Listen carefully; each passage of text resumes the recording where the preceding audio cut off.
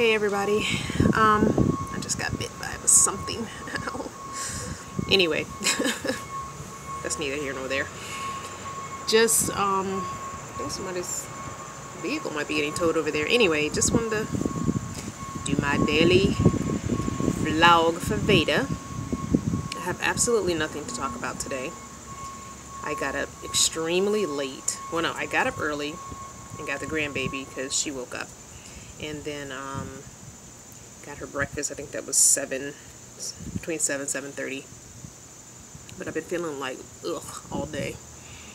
So anyway, um, I took a nap, like a really long nap this afternoon. But um, I'm still just feeling really like drained of all energy. So I don't know. I don't think I'm coming down with something. I think it's a female hormonal thing going on. But, um, yeah, so I'm at the library in the gazebo again. It's very breezy here. It's nice and shady and a little breeze going. Um, there were some teenagers over there, but they are leaving now. Or just left anyway. But uh, I forgot the daggone books to read to the baby. So I have to definitely remember to do that tomorrow. Um, nothing else. Today's Monday. Oh, I talked with one of my aunts, and she is coming to the town that I'm in because the funny thing about the town that my son lives in is my grandmother is from this town. So it's almost like my son came full circle back to his roots. So it's just funny. He ended up here. So anyway, I have one great aunt who's still here. And um, I think some second and third cousins. But I've seen my great aunt a couple times. Um, so my my aunt, my mom's sister, who um, recently moved from Northern Virginia to a place about an hour and a half away from here, let me know yesterday as I was driving and traveling. We talked on the phone. Um, that she is coming here Thursday to see our aunt. And so she's going to come by and see us as well, which is nice because I'll get to say, you know, bye to her because I haven't seen her in uh, over a year. So, yeah. It's so weird how that happens with family, you know. I remember growing up, our family was close. You know, we were, especially in the summer, we were doing a lot of different things and going to either my grandma's house or uh, each other's houses. You know, I saw my cousins all the time, and and um, it just wasn't like that. By the time my son came around, we weren't seeing each other for years at a time, even though we all lived basically within 30 minutes of each other. It would be years before seeing each other. It was like a funeral or something, you know? It's just a little upsetting. I mean, that my son didn't have that um, closeness with, you know, my cousins and stuff. So, it's sad. Because, you know, they would probably run into each other somewhere and not even know who each other were, just walk right past each other. But, anyway, maybe it'll change. Maybe it'll change. Um, so anyway, um, yeah, I'm just being a lazy person again today. It's almost 4. I'm just now doing the video and it's almost 4 in the evening. So sad, so ridiculous. And the library closes at 6 today, so I'm going to go into the library and probably try and um, hopefully use one of their computers and get on Teespring. The last two times I tried to get on Teespring, I couldn't log in, so I don't know what the deal is. So I'm going to try. I don't really have any ideas for t-shirts. I might just do some um, t-shirts with some quotes on them or something. I do have one t-shirt that I owe a friend. I told her I would try and make her one with flamingos on it, so I'll see if I can do that. I really, really, really need a computer. Um, not only do I need a computer, I really want to buy um, print shop as well. I need a I need a nice, well, not nice, but I need a decent laptop, and I need to buy the print shop either online or discs or something. I had it years ago when I when computers first kind of were new on the scene and people were starting to get them in their houses. I had a um, a really old desktop that I got and um, I had like I had print shop the CDs I had like the five CD set and it was probably way way in the single digits of print shop probably like print shop four or five or something like that like way in the beginning of print shop. I mean wait was it print shop or Photoshop? I don't remember what it's called. Anyway. So and I would make different things and I made business cards for my mom and letterhead and stuff like that. And I had this old um, printer you know those old um, dot matrix printers with that long thing oh my gosh. And you had to use the paper with the holes on the side. And you had to tear the holes off the perforated little holes. But that's how the machine fed through. Oh my gosh I remember that paper. But anyway, so I used to do a lot of little um, designing type things, completely self-taught, just playing around on my little old com slow computer with the dial-up internet.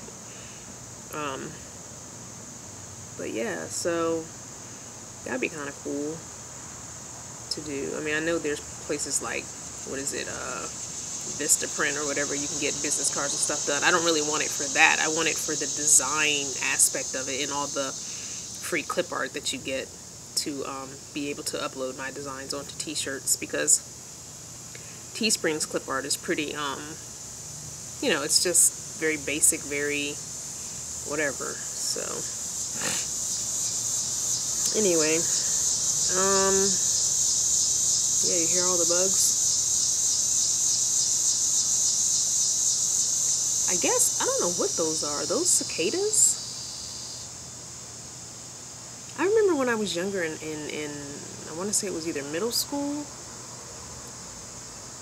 or the beginning of high school, like maybe ninth grade of high school, when the cicadas came and they were all over the ground. Like you were literally just crunching walking on cicadas because they were just, there was no way to avoid walking on cicadas.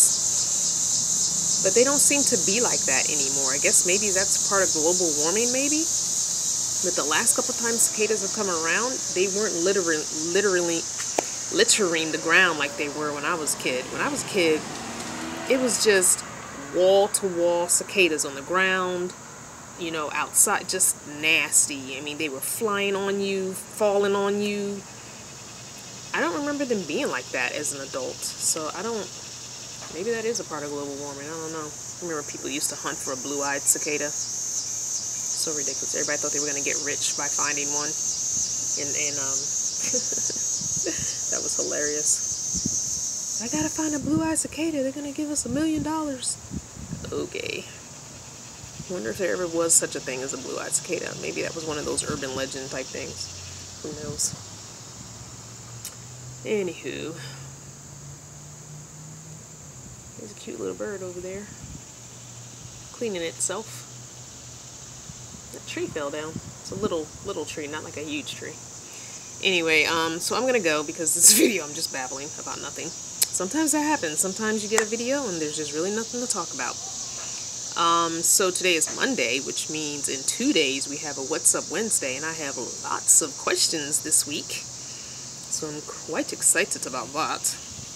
So remember, if you have a question you want me to answer, please go to last week's What's Up Wednesday and put your comment question there. A few people have been putting questions on different videos and that makes it very difficult for me to go back and find questions. So if you're one of those people and you know that you did not put your question on the What's Up Wednesday of last week, please go back, copy and paste your question, and put it in last week's What's Up Wednesday video because that's the only place I will be pulling questions from. So please do that or else your question will not get answered. Sorry. It's just too difficult for me to go back on every single video and find a question to answer. So questions will be answered on the What's Up Wednesday video from last week. Those will be answered this Wednesday. So, if you really, really want that question answered, please copy and paste it and put it in last week's video um, comment section. So, I'm going to go. The train's going by. I don't think I've ever had, well, maybe I have had the train go by, I just didn't pay attention. So, I'm going to go, do what I got to do.